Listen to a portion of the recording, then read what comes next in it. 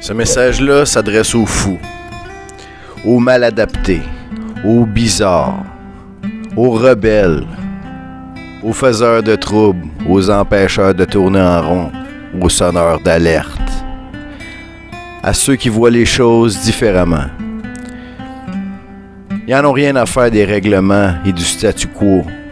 Vous pouvez les glorifier, les adorer, les rabaisser ou les détester. Mais la seule chose que vous ne pouvez pas faire, c'est de les ignorer.